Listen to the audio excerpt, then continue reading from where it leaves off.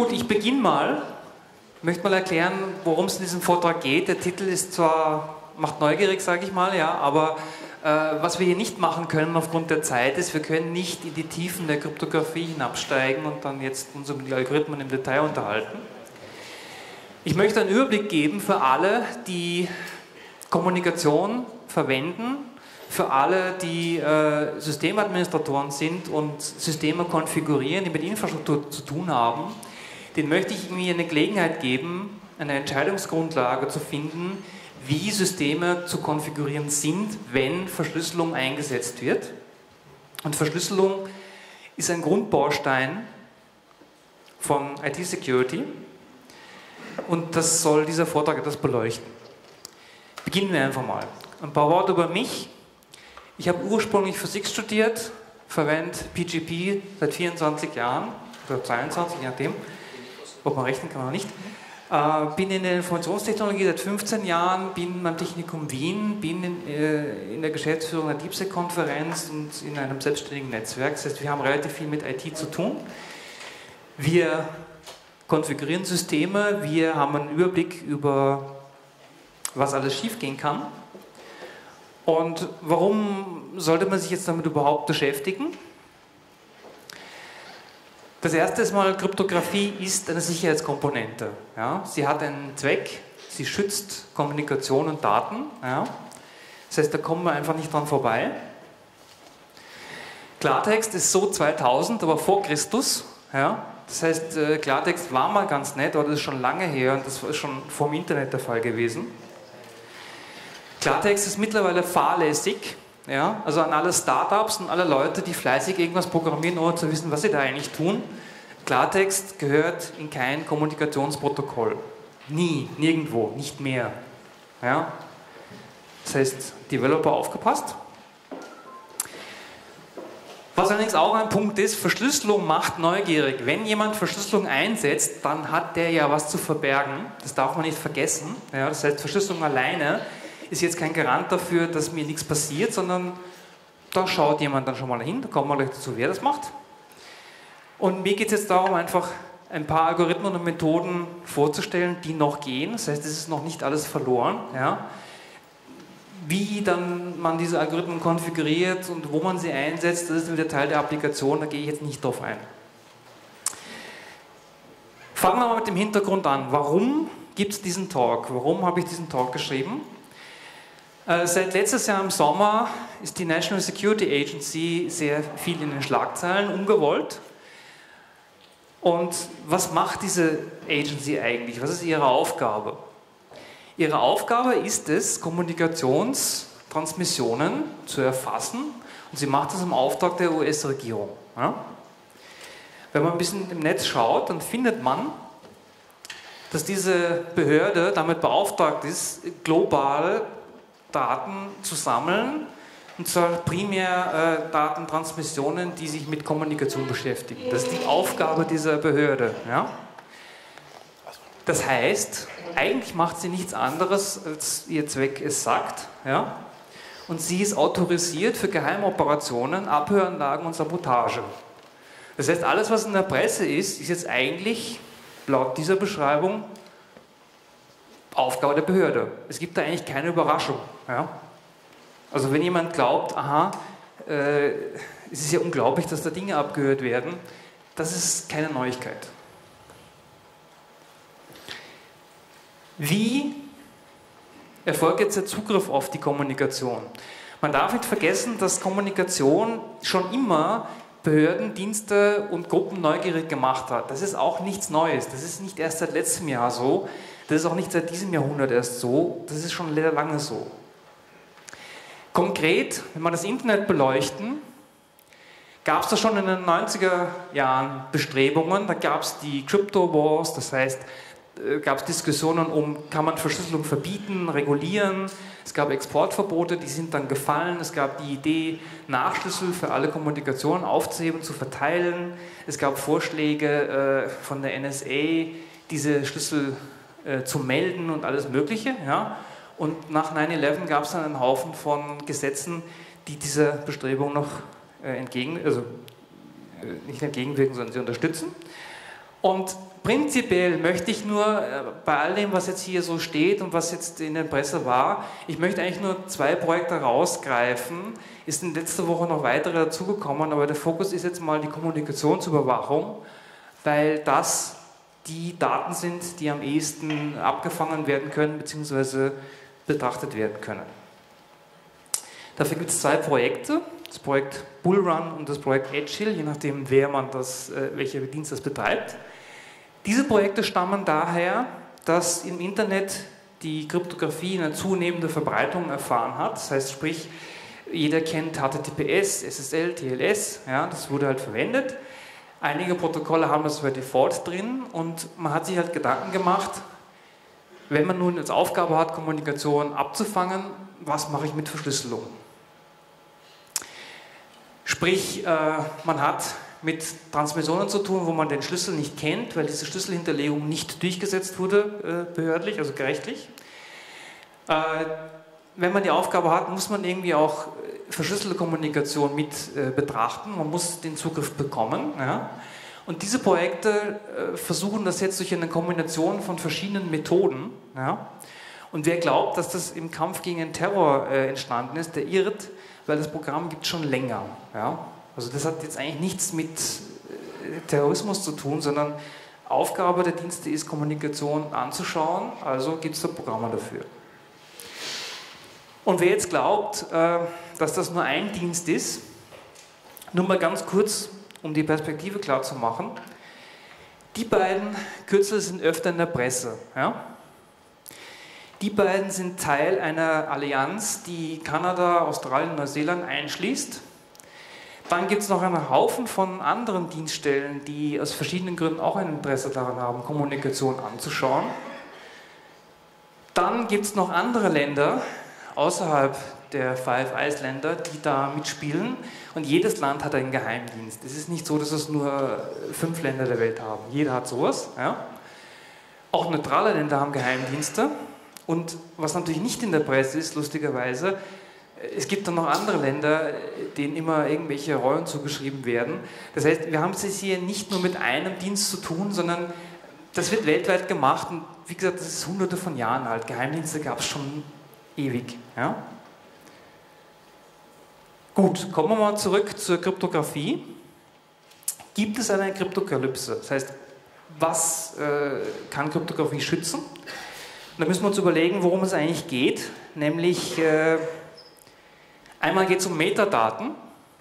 Die Metadaten sind Teil der Übermittlung, aber nicht der Inhalt. Das heißt, da steht drin, wer mit wem kommuniziert, wie, wann, wie lange, wie viel, ja, welcher Inhaltstyp das ist. Ist das Sprache, ist das Bild, ist das Text, ist das was auch immer. Ja. Da können Orte dazugehören, GPS oder Ortsnamen, Domains oder was auch immer. Diese Metadaten beschreiben nur die Art der Kommunikation und die sind extrem aufschlussreich. Dann gibt es noch die Inhaltsdaten, also was eigentlich transmittiert wird. Das sind dann Gespräche, Korrespondenz, Dateien, was auch immer. Ja. Das heißt, wenn ich eine Datentransmission habe, dann habe ich diese beiden Arten von Daten mal prinzipiell. Ja. Äh, viele Protokolle legen den Fokus auf die Inhaltsdaten und verschlüsseln diese und die Metadaten werden nicht äh, besonders geschützt. Gutes Beispiel, SMS-Verschlüsselung, da gibt es äh, Software dafür. Und diese SMS-Verschlüsselung äh, hat natürlich das Problem, das SMS ist verschlüsselt, aber die Nummern, wer mit wem kommuniziert, nicht. Ja? Klassischer Fall, Metadaten, Quelle, Ziel bekannt. So, wo passieren jetzt diese Attacken auf Kommunikation? Das erste, was es gibt, ist mal der Netzwerkverkehr direkt. Das heißt, wenn ich das Netzwerk sehen kann, dann kann ich schauen, was da so über die Leitung geht und kann da Mitschnitte machen. Das geschieht mit und ohne Hilfe von Internetanbietern, sei es direkt an Kabeln oder auch mit Hilfe von Firmen, die Kabel betreiben.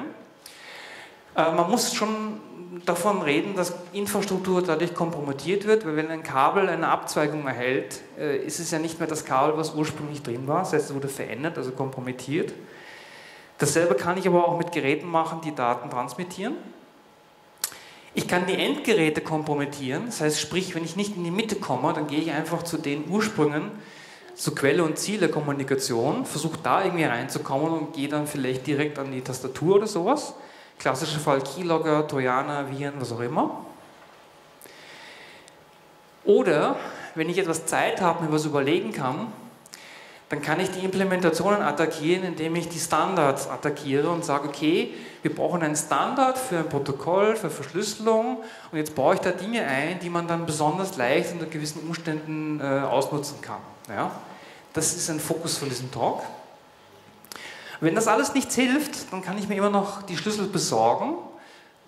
Ist teilweise schwierig, aber wenn ich mal auf den Endgeräten bin, dann habe ich die sowieso. Ja? Also sprich ein infizierter PC der ist nicht vertrauenswürdig und wer da mitliest, kann auch die Schlüssel mitlesen. Und wenn das alles nicht hilft, dann kann ich immer noch hergehen und kann blind nach Methoden oder wie auch immer Schlüssel ausprobieren. Das ist so ähnlich wie Passwortraten, nur mit äh, Bits und Bytes. Ja. Aber äh, die Projekte, äh, die ich eben vorgestellt habe, beleuchten alle diese Möglichkeiten und es gibt da Implementationen dazu. Und die schauen wir uns jetzt mal an. Netzwerkverkehr. Alles, was über Leitungen geht, kann abgehört werden. Das war der Ursprung der Cypherpunk-Bewegung, weil die haben sich nämlich früher schon überlegt, ja Moment, wir haben ja analoge Telefonleitungen, die sind ja nicht verschlüsselt. Ja? Das heißt, äh, ja, sind sie nicht. Das heißt, die Sachen, die da drüber gehen, kann man abhören. Bei analogen Leitungen kann ich das sogar mit Klemmen machen, da brauche ich jetzt keine große äh, Abzweigung machen. Ja?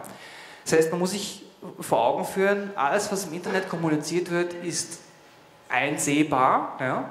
Und das Internet beginnt am Gehäuse eines PCs und eines Smartphones. Das heißt, sobald ich das Gehäuse verlasse, über WLAN, Bluetooth oder Netzwerkkabel, bin ich schon in der Gefahrenzone.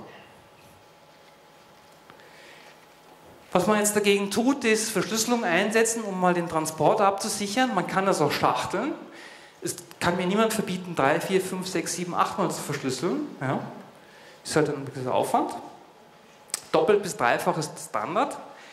Was ich schwer schützen kann, sind Metadaten, weil ich habe nun mal irgendwie einen Anschluss, sei es eine IP-Adresse oder eine Telefonnummer. Ja. Und die Metadaten zu schützen, ist nicht unbedingt Teil der Kryptographie, sondern da brauche ich ein anderes Netzwerk oder Anonymisierungsnetzwerke oder muss Datentransmission irgendwie bündeln, dass man nicht gleich sieht, was drin ist. Ja, da gibt es mehrere Möglichkeiten. Man kann das auch über VPNs lösen, die man verschachtelt, aber ich brauche dann immer irgendwie äh, eine Gruppe von Teilnehmern, um das Ganze ein bisschen durchzumischen. Ja? Und das ist bei bestimmten Protokollen nicht möglich. Und was noch ganz wichtig ist, ja, bitte nicht aus diesem Vortrag herausgehen und sagen, ich muss jetzt verschlüsseln und dann kann mir nichts passieren, das Verhalten eines jeden in der Kommunikation ist ein wichtiger Faktor, der kombiniert mit den Metadaten Informationen preisgeben kann, die man nicht preisgeben möchte. Ja? Um das zu illustrieren, habe ich hier ein hoffentlich stark verkleinertes Baumdiagramm, Graphdiagramm. Und zwar das ist ein Metadatendiagramm aus Logfiles, die Korrespondenz beschreiben. Hier, ste hier steht im Prinzip, wer mit wem kommuniziert. Ja? Das heißt, das ist ein Kommunikationsdiagramm. Und jetzt sieht man schon, hier gibt es mal so Außenseiter, die nur miteinander kommunizieren. Dann gibt es hier irgendwelche wichtigen Personen oder Organisationen, wo Informationen zusammenlaufen. Dann gibt es Querverbindungen davon. Wenn ich nicht mal weiß, äh, welcher Anschluss das ist oder welcher Name das ist, wenn ich den Kontext bekomme, ja, zum Beispiel, angenommen, wir nehmen das mal heraus und sagen, das sind die Besucher von den Linux-Wochen, die hier kommuniziert haben, dann kann ich daraus bestimmte Dinge ableiten. Und je mehr Infos ich kriege, umso plausibler wird es. Wenn ich zum Beispiel hier die Telefonnummern mal kriege, dann weiß ich plötzlich Anschlüsse. Wenn ich Namen habe, weiß ich plötzlich Personen. Wenn ich Firmen habe, weiß ich plötzlich Firmenbeziehungen, was auch immer. Ja? Das hinterlasse ich tagtäglich in Telefonlogs, E-Mail-Logs, äh, was auch immer. Ja? Das wird einfach preisgegeben. Ja? Und das zu verschleiern kann ich nur mit entweder Verhalten ändern oder Verhalten ändern kombiniert mit Anonymisierungsnetzwerken. Aber diese Infos, die sind relativ leicht zu bekommen und schwer zu unterdrücken. Gehen wir mal zu kompromittierten Systemen über. Die mögen Sysadmins gar nicht. Ähm, wie kann man Systeme kompromittieren? Naja, man kann Software kaufen, die Systeme kompromittiert. Es gibt da kommerzielle Anbieter, die verkaufen an bestimmte Behörden. Äh, fünf oder vier dieser Firmen sind publiziert durch äh, die Snowden Leaks. Das ist ein gutes Zeichen, so blöd es auch klingt. Wenn sich jemand die Mühe macht, ein Endgerät zu kompromittieren, dann heißt das, dass die Verschlüsselung zwischen den Endgeräten anscheinend noch gut genug ist, weil sonst müsste ich ja den Aufwand nicht treiben. Ja? Weil wenn ich aufs Endgerät muss, dann habe ich sowieso schon ein Problem, ja? weil ich dann einfach in der Kommunikation vielleicht nicht ganz weiterkomme. Das ist mal gut. Ja? Aber wenn ich ein kompromittiertes System habe, dann nützt mir mein HTTPS und mein VPN und mein Anonymisierungsnetzwerk überhaupt nichts, weil ich bin an der Quelle ja? und ich kann direkt an der Quelle mitschneiden und kann sehen, was passiert und mir ist egal, was danach passiert.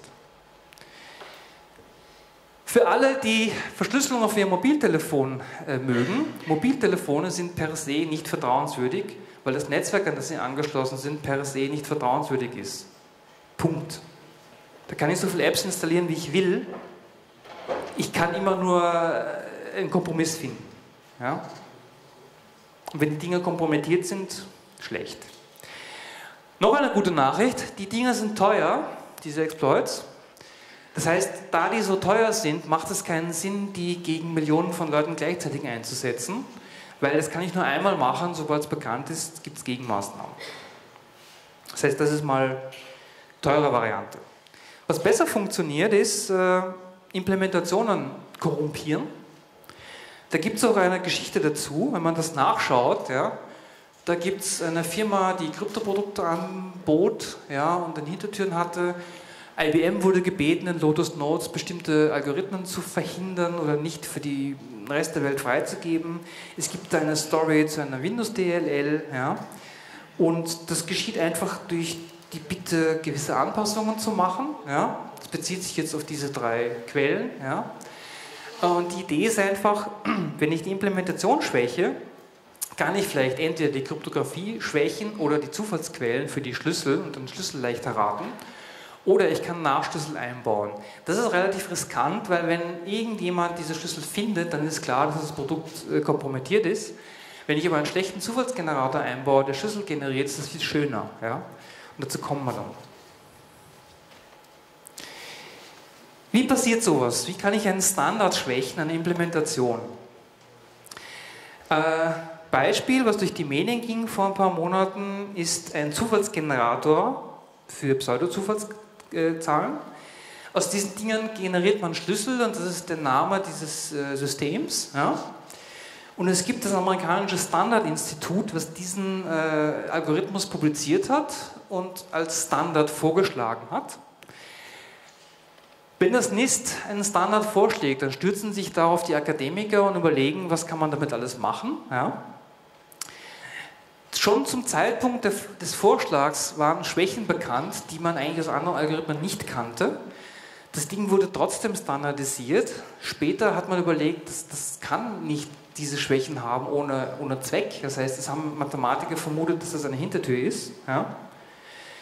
Und dieses äh, Ding ging aber ein in eine äh, Bibliothek für Developer, um Schlüssel zu generieren. Es wurde nicht zwangsweise verwendet, aber man konnte es verwenden, ja, wenn man denn wollte. Und da dieser Zufallsgenerator so schlecht war, beziehungsweise Lücken hatte, kann man damit im Prinzip die Anzahl der Schlüssel, die man raten muss, verringern und kann dann eine Attacke gegen unbekannte Schlüssel schneller machen. Ja. Und nachdem Edward Snowden an die Presse gegangen ist, hat die Firma, die diese Library verwaltet, davor gewarnt. Aber erst danach, wir reden jetzt hier über sechs Jahre, Standard ist in, in Verwendung, Standard ist in Bibliotheken und sechs Jahre danach kommt jemand drauf, ah ja stimmt, eigentlich ist das ja schlecht, äh, zufälligerweise erst nachdem der Herr Snowden das gesagt hat. Sicher Zufall. Dieses Ding hat noch eine Nachgeschichte. Ja? Weil jetzt haben wir mal einen Zufallsgenerator, der schlechte Zufallszahlen generiert. Wenn ich den jetzt verwende, um meine Kommunikation über TLS abzusichern, dann habe ich eine ja, Wortschöpfung aus diesen beiden Begriffen. Und dieser äh, Zufallszahlengenerator ist halt in RSA-Bibliotheken drin für C, C++, Java. Der Microsoft Secure Channel, der äh, auch für Developer verwendet wird auf der Windows-Welt, hat dieses Ding auch. Und das OpenSSL-Projekt hat spezielle äh, Software für sogenannte FIPS-Einsatz. FIPS ist ein amerikanischer Regierungsstandard. Das heißt, äh, die Regierung hat bestimmte Standards festgelegt für kryptografische Methoden, die ich einhalten muss in bestimmten äh, Gebieten. Die normale OpenSSL-Bibliothek hat dieses Ding nicht, ja, aber die speziell für FIPS-Einsatz konzipierte SSL-Bibliothek von OpenSSL hat das sehr wohl. Ja. Das heißt, dieser Code ist mal relativ gut platziert. Und wenn man diesen einsetzt und TLS verwendet, dann ist eine Gruppe von Forschern jetzt im März draufgekommen, dass es tatsächlich Attacken gibt, um TLS-Verschlüsselung aufzubrechen. Und noch dazu hat diese Library eine sogenannte Extension für das TLS-Protokoll. Das wurde auf, der, auf Bitte von der NSA 2008 eingefügt. Das ist nicht Standard, das ist nur in diesen bestimmten Bibliotheken zu finden. Ja. Und wenn ich jetzt das verwende, plus diese Extension, dann kann ich Attacken nochmal 65.000 Mal schneller machen, indem ich Schlüssel errate. Ja? Zufall. Äh, RSA hat äh, diese Möglichkeit in den Libraries nach den Snowden Leaks letztes Jahr äh, deaktiviert, ohne das zu sagen, warum sie das machen. Das heißt, vor sechs Monaten wurde das deaktiviert.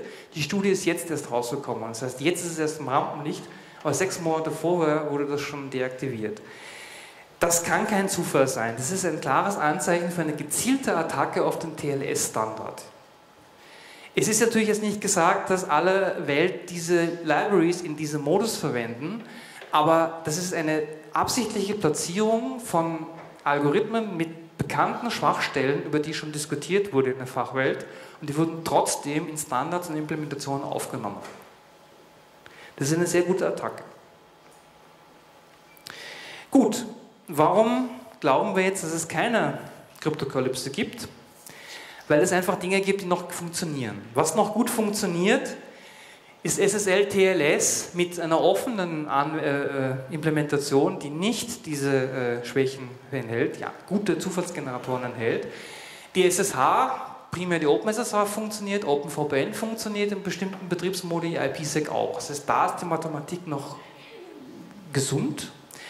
Dasselbe gilt für PGP und GPG, OpenVPN und OTR auf unkompromittierten Systemen. Wenn ich ein Virus drauf habe, wenn jemand mitschaut, ja, wenn ich irgendwas eingebe, habe ich natürlich Pech gehabt. Ja. Das Tor-Anonymisierungsprojekt hat ein sehr großes Lob von der NSA bekommen weil sie sich daran die Zähne ausgebissen haben. Es ist schwer zu kompromittieren, es ist schwer reinzukommen. Ja? Wenn man es verwendet wie empfohlen. Ja? Äh, wenn man das nicht macht, dann läuft man in Probleme. Aber was hier sehr äh, gelobt wurde, in Anführungszeichen, sind die Hidden Services. Das heißt, ich kann Dienste verstecken, meine Metadaten schützen plus die Inhaltsdaten. Also funktioniert sehr zuverlässig nach wie vor.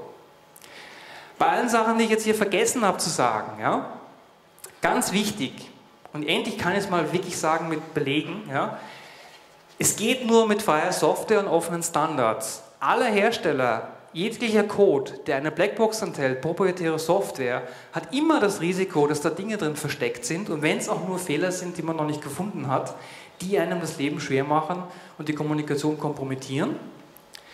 Äh, ich habe jetzt hier absichtlich Open Source in Anführungszeichen geschrieben, weil Open Source ist, ist man schnell mal. Ja? Windows ist auch Open Source, ja, wenn man es ganz hart nimmt.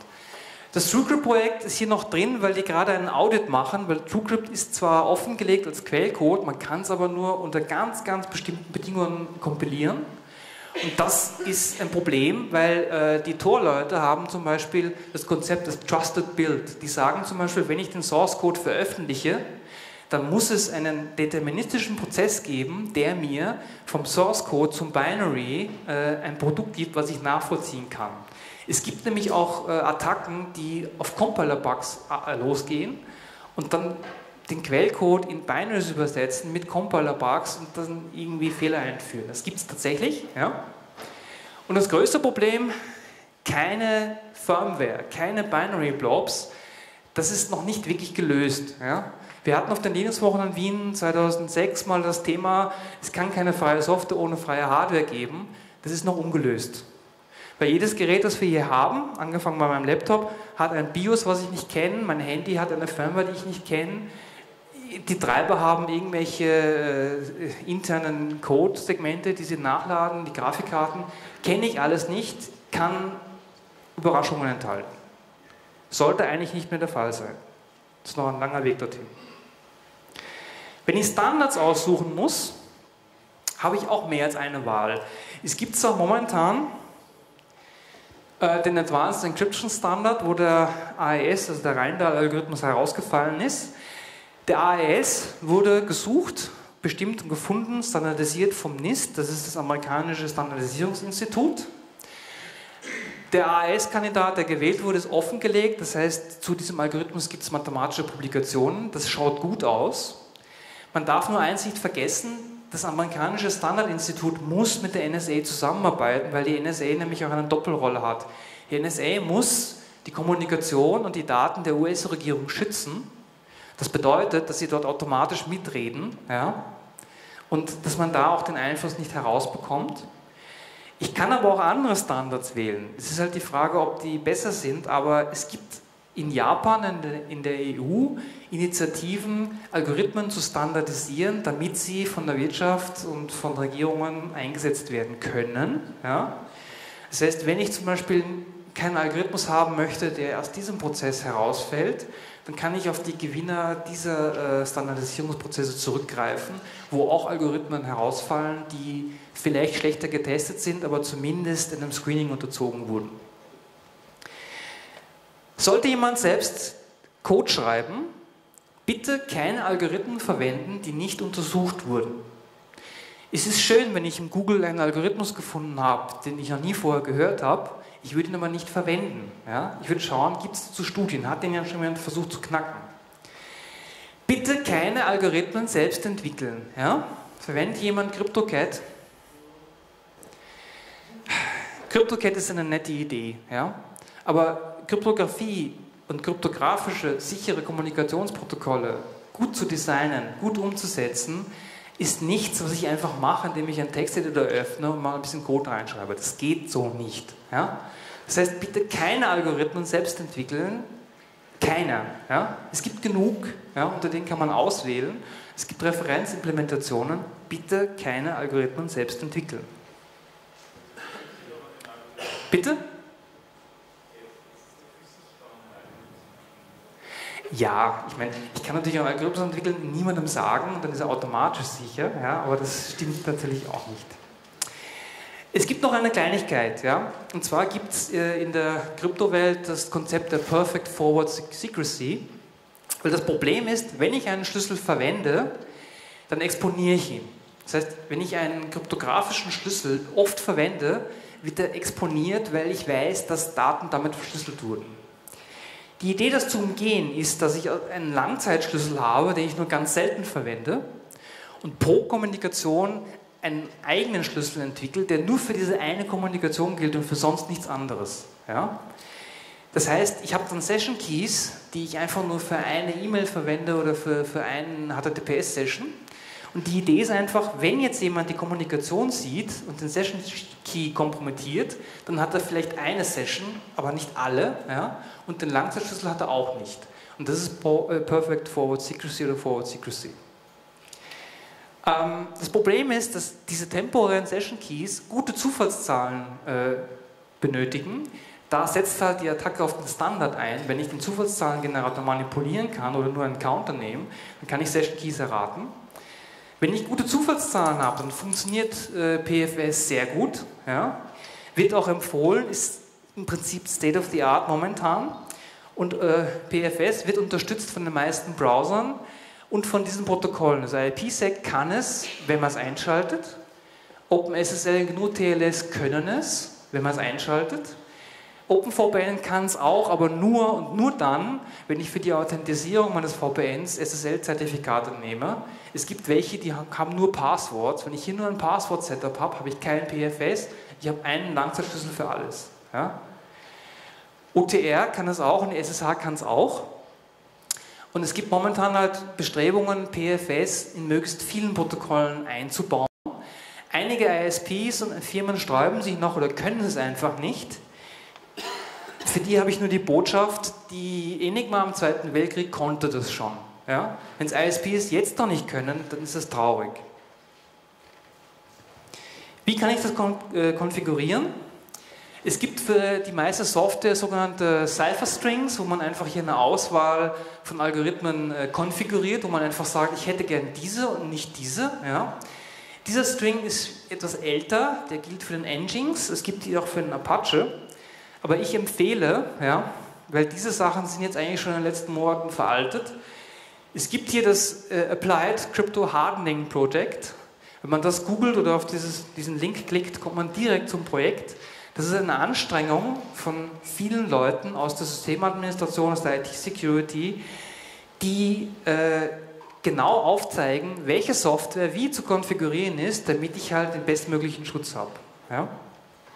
Also Applied Crypto Hardening ist die Anlaufstelle für alle, die Software konfigurieren, Sysadmins primär, ja, die nachschauen wollen, was ist momentan das Best Match. Ja?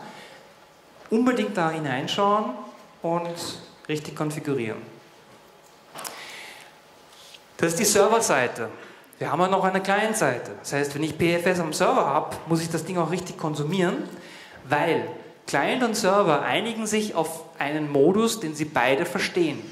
Wenn der Client jetzt PFS nicht kann, dann wird der Server auch äh, PFS nicht wählen. Und viele Browser haben relativ großzügige Einstellungen, wo sie halt alle möglichen Algorithmen und äh, Schlüssellängen äh, akzeptieren. Da muss man leider mal mit dem Browser ein ernstes Wort reden. Beim Firefox ist About Config oder in den Preferences äh, ein guter Tipp. Mal schauen bei About Config im Firefox nach SSL filtern und einfach mal schauen, was da alles eingeschaltet ist. Ganz runtergebrochen, wenn man jetzt einen Applied Crypto Hardening Guide nicht zur Hand hat.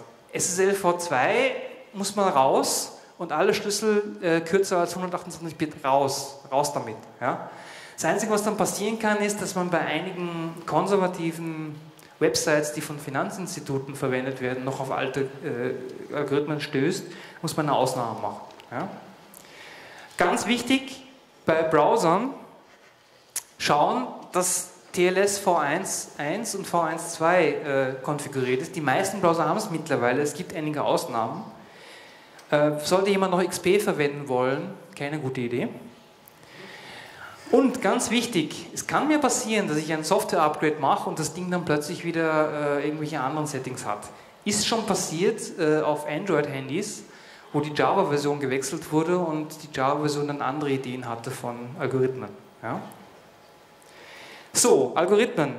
Welche nehmen wir jetzt? Äh, naja, das ist schwer. Ganze Mathemat Mathematiker beschäftigen sich damit. Die Algorithmen, die jetzt hier aufgelistet sind für Verschlüsselung und Hash-Funktionen, die sind noch verwendbar. Blowfish ist älter als Twofish, deswegen habe ich es eingerahmt. Ja. Und es gibt halt Diskussionen. Also AES ist sicher unter den Kandidaten am besten getestet, die anderen sind schlechter getestet, aber sie sind noch eine gute Wahl. Was unbedingt zu vermeiden ist, das war noch bei dem Endings und Apache String drin, da ist DSA noch drin. DSA ist ein sehr zweifelhafter äh, Standard, der auch vom NIST kommt. Den würde heute niemand mehr einsetzen. RC4 fällt auch schon raus. DES ist uralt, der ist aus den 70ern, der muss auch raus. Es gibt einen Workaround, der sollte eigentlich auch raus, wird aber leider noch von einigen Webseiten unterstützt, die zum Beispiel für Kreditkartentransaktionen zuständig sind. Und MD5 und SHA-1 auch rausschmeißen.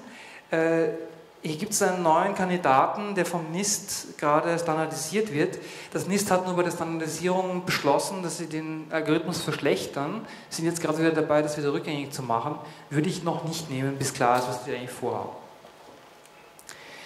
Dann Betriebsarten von Blockziffern.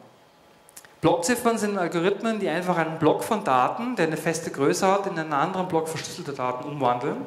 Das will ich manchmal nicht. Ich habe zum Beispiel manchmal Datenströme wie äh, Video oder was auch immer. Da möchte ich halt einen ständigen Strom von Verschlüsselung haben. Da gibt es zwei Möglichkeiten, das zu ändern oder mehrere sogar. Äh, der verbreitetste Mode ist CBC. Ja.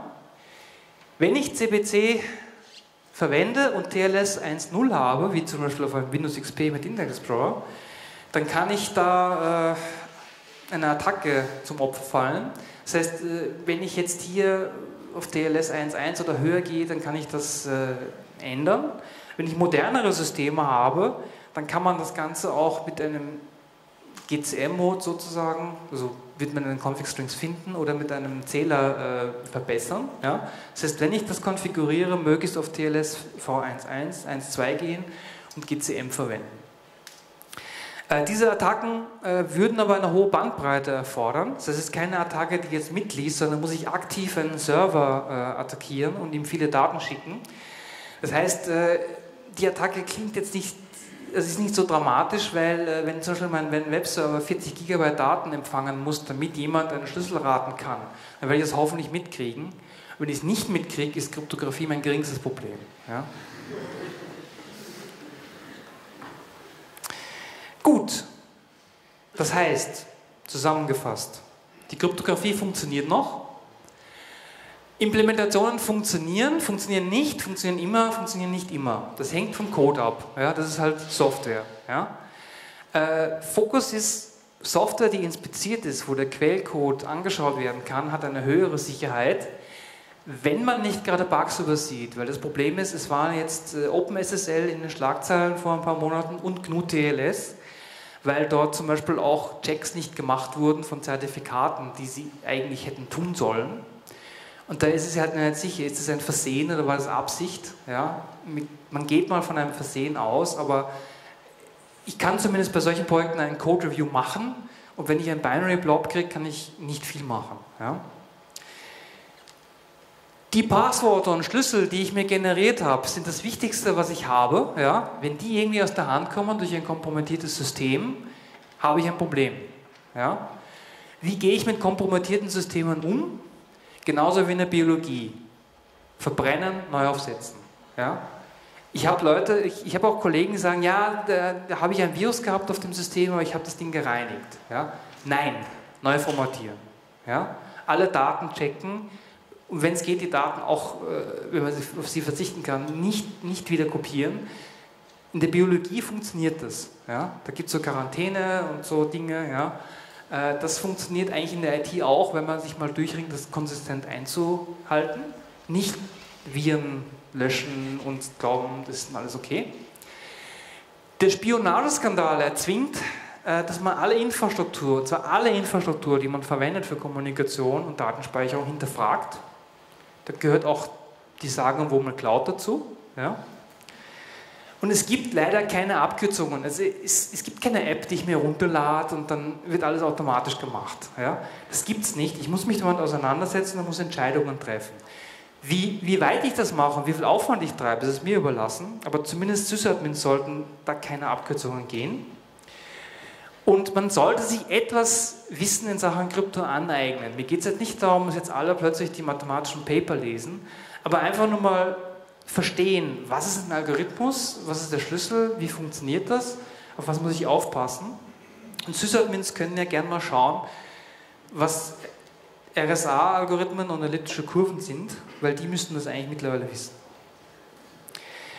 Ja, und noch ein Fazit, das hat sich bewahrheitet. Wir sind noch nicht am Ende. Ja? Äh, es wird noch viel mehr in den Medien diskutiert werden, es wird noch viel mehr herauskommen, was jetzt eigentlich äh, gefährlich ist, was nicht mehr funktioniert. Wir wissen das alle noch nicht komplett. Ja? Und ich muss gestehen, also mein Sommer letztes Jahr war verdammt kurz, weil ich dauernd mitlesen musste, was jetzt schon wieder kaputt ist. Ja? Und das wird uns noch bevorstehen, weil die Snowden-Leaks sind noch lange nicht fertig. Ja? Und die Journalisten haben gerade erst angefangen, darüber zu berichten. Das wird auch noch auf einige Jahre so bleiben. Da darf man sich keine Illusionen machen. Gibt es Fragen dazu? Ja? Da gibt es ein Mikrofon.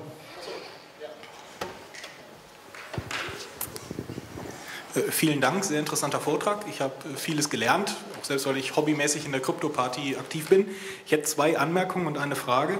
Ähm, was TrueCrypt angeht, meines Wissens nach hat es letzten Herbst ein kanadischer Bachelor- oder Masterstudent äh, geschafft, TrueCrypt genauso zu kompilieren, dass die Prüfsummen stimmen. Das ist jetzt kein offizielles Audit, aber zumindest schon mal ein Hinweis, dass da hoffentlich keine Hintertür drin ist. Weiß man nicht so genau.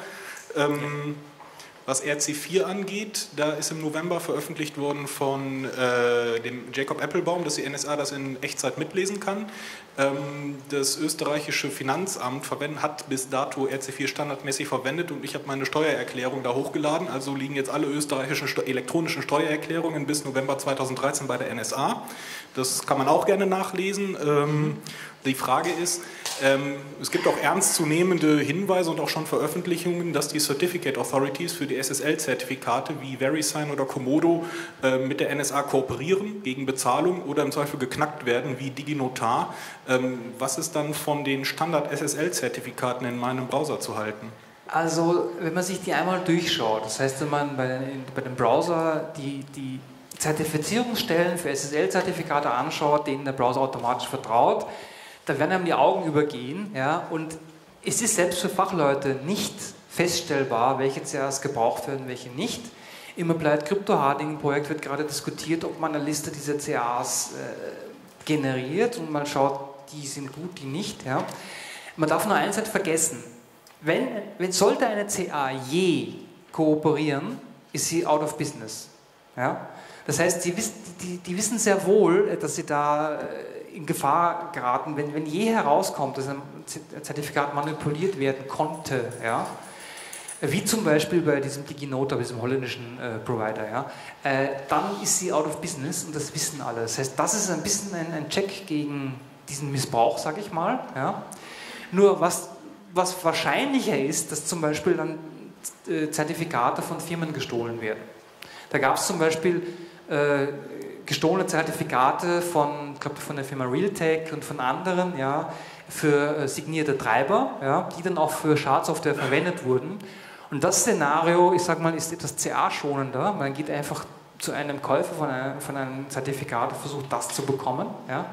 Aber auch da gilt dasselbe. Sollte dieses Zertifikat je missbraucht werden, wenn ich zum Beispiel an die Cloud-Anbieter denke, Apple, Google, Microsoft, wenn jetzt das Zertifikat für Gmail, Hotmail, wie auch immer, Outlook.com äh, kompromittiert wird, ja, ist der Image-Schaden enorm und das ist auch nicht in deren Interesse. Ja. Das ist, aber das ist das Einzige, was dagegen steht. Ansonsten kann das passieren.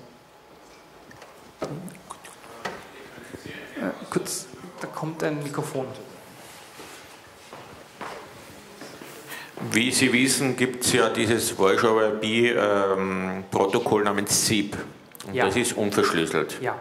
Jetzt gibt es seit kurzer Zeit äh, so einen Nachfolger von SIP, der ist verschlüsselt, der heißt irgendwas jetzt mit Z am Anfang. ZRTP. Ganz genau. Mhm. Können Sie eine Aussage darüber machen, wie sicher dieses Protokoll ist? Äh, ZRTP ist vom Design her sicher genug. Ja.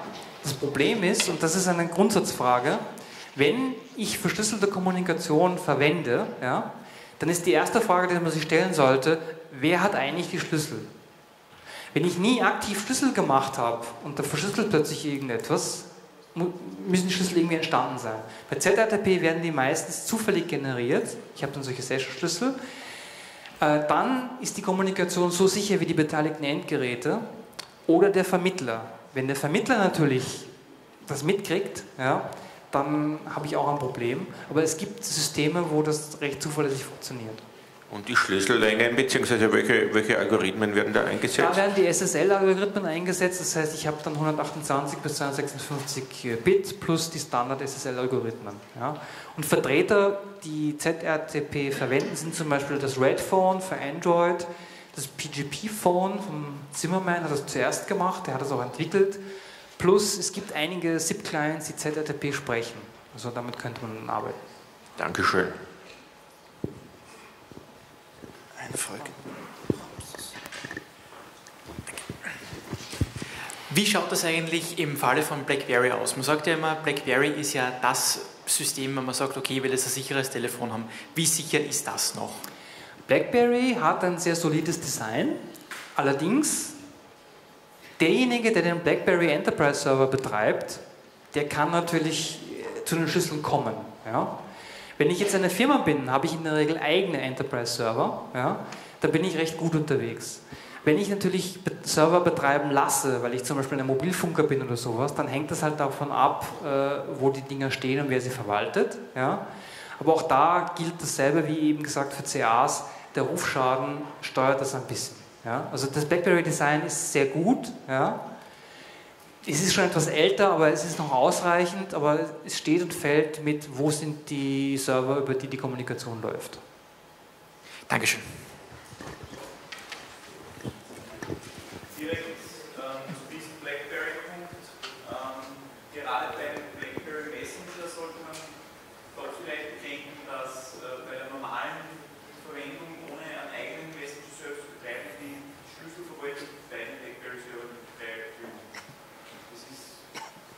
Genau, ja, also wie gesagt, hängt davon ab, wo die Server stehen, wer die Schlüssel verwaltet. Wenn ich sicher gehen will, habe ich eine komplette eigene äh, Infrastruktur dafür und dann kontrolliere ich das zumindest. Ja. Ja.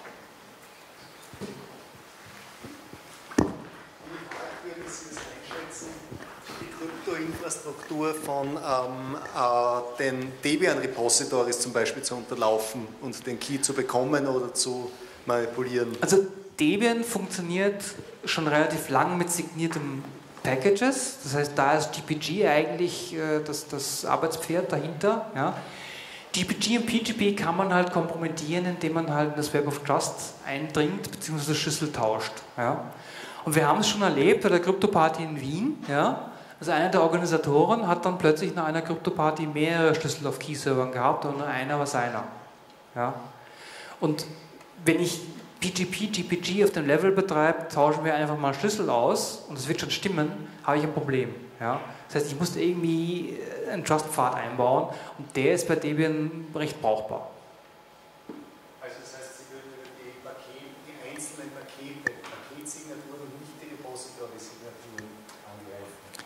Ja, also man müsste, oder man kann natürlich, wenn ich, wenn ich irgendwie die, die Sources verändern kann, man kennt vielleicht, kennen einige, trage ein neues Source ein, weil ich zum Beispiel Multimedia-Files brauche, wie auch immer. Äh, dann kriege ich halt da irgendwie ein Repository, das trage ich ein, dann hole ich mir den Key und da kann es schief gehen. Wenn ich einen falschen Key vom falschen Repository hole, habe ich plötzlich äh, Trojaner an Bord. Ja? Und da, da würde man einhaken.